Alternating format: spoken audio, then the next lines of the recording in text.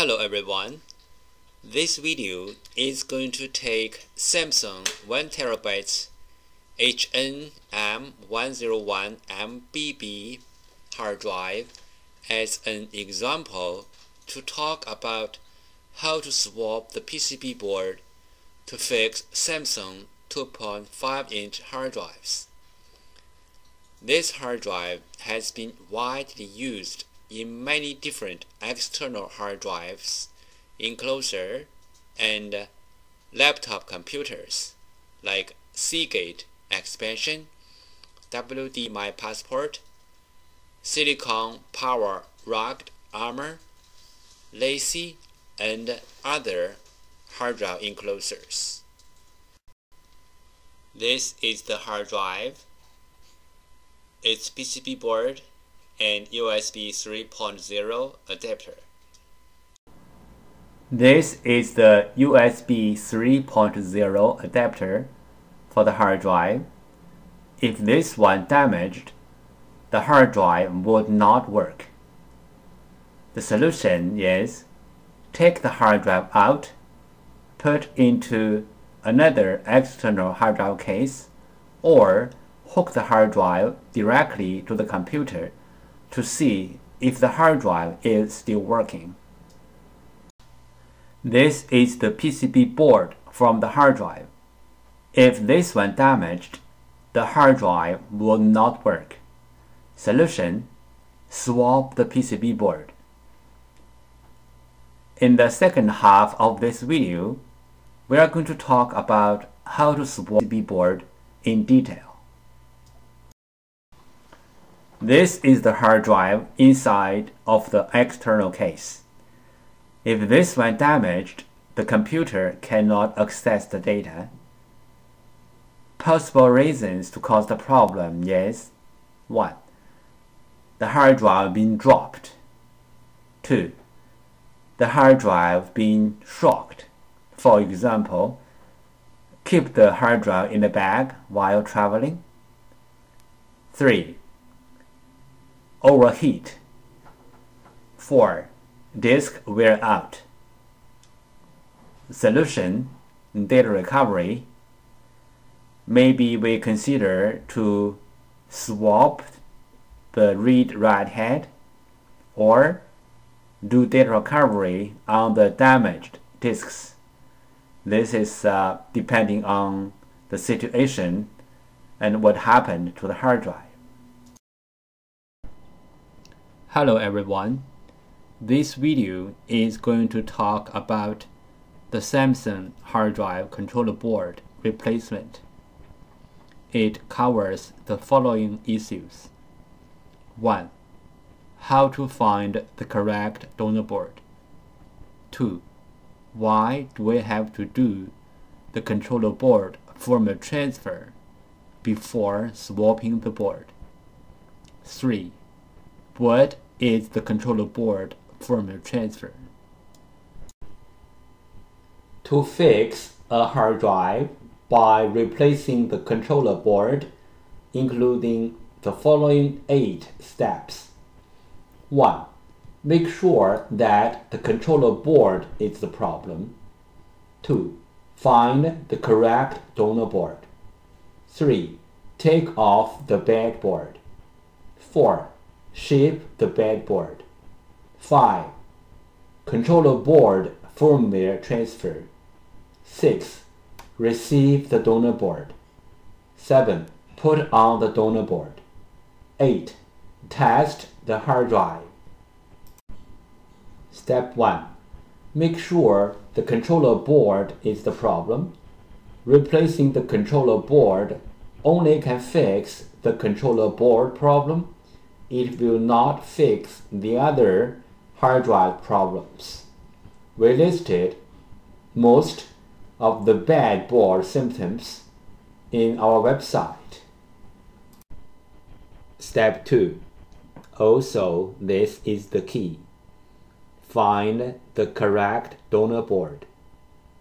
We need to find the model number of the hard drive and the board number of the PCB board and search in our website. to find the correct donor board for the hard drive. The model number of the hard drive on the label on the front of the hard drive. For this model Samsung hard drive, the board number is on the board's component side. You have to unscrew and take off the board, then you can see the board number, as the picture shows. The board number is the critical criteria to find the correct donor board. In other words, as long as this board number are same, the boards are same in hardware. After we find the correct donor board, then we can do firmware transfer to make a identical board for the hard drive. Step 3. Take off the bad board. We use cross 2.5 screwdriver to work on this hard drive. Keep the screws in a safe place for later use. Go to www.hdd-parts.com. In the search box, input the board number, space, and the model number. Then click on search. please go to www.hdd-parts.com. In the search box, input the board number and the model number of the hard drive, then click on search. Now, we find the board for this model hard drive. Please read the description part of this item and follow the instructions. Step 4. Ship the bedboard to us. First, put the bedboard in the bubble molder. Second, customs declaration as bed hard drive controller board. The value is $5 you need to fill a PCB board firmware transfer form. You can find the form in the description part of the item. This is how the clients ship their PCB board to us. First, they print out our shipping address on the envelope. Second, their mailing address. Third, print out the firmware transfer form and ship together with the PCB board. Fourth, if shipped from outside of Canada, they fill a customs declaration form, declare the board as bad hardware controller board. The value is $5. Step 5. Controller board firmware transfer also called controller board BIOS swap. It means to transfer the controller board firmware from one board to another board. Why do we have to do controller board firmware transfer for this model hard drive? Because this model hard drive, one controller board includes two parts, hardware and firmware. The firmware includes hard drive's unique configuration data. The hard drive needs this unique configuration data to work. So we have to transfer this unique configuration data from the bad board to a good donor board. This picture illustrated how to do firmware transfer. On the left hand side is a bad controller board. On the right hand side is a good controller board.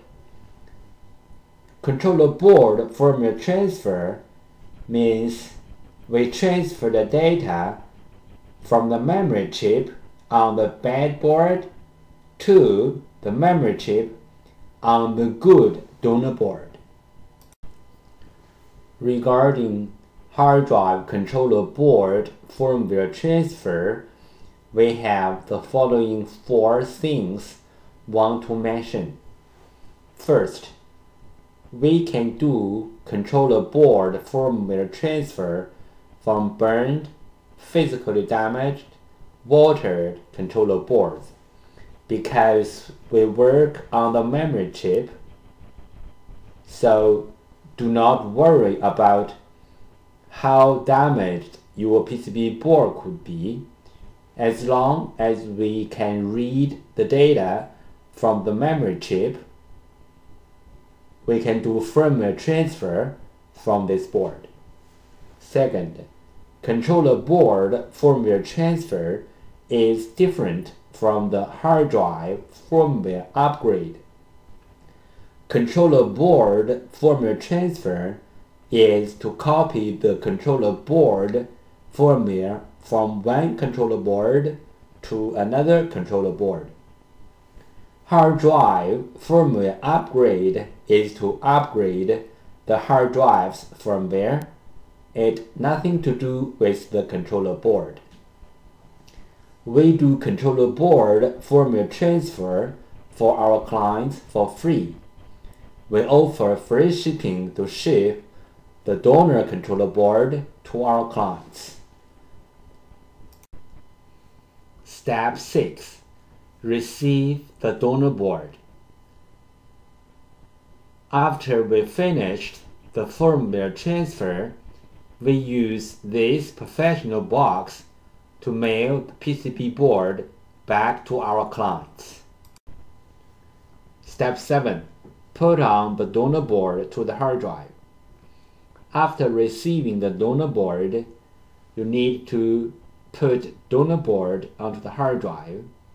And second, screw all the screws back to the PCB board to secure the PCB board to the hard drive.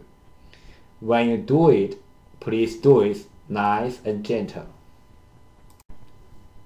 Step 8. Test the hard drive. Put the repaired hard drive back to your computer to test it. If it works, congratulations, you fixed the hard drive. If the hard drive doesn't work, that means this hard drive got the problem beyond the PCB board. Inside the hard drive, there are two parts, spindle and disks. If the spindle or disks got problem, the hard drive would not work as well. We carry all the brand name hard drive controller board, from the very old to the latest.